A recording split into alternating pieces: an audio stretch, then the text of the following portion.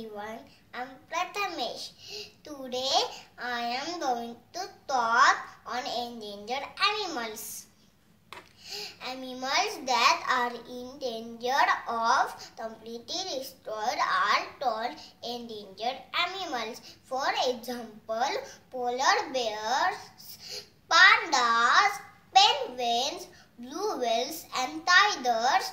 Humans destroy forests for making houses, kill animals for making leather for shoes and bags to save endangered animals. Donate to wildlife parks.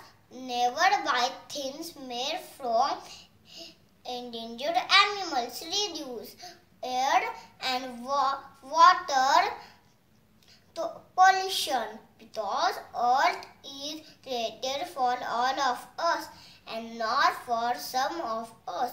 So save endangered animals and save yourself. Thank you. Shoot us with cameras and not with guns.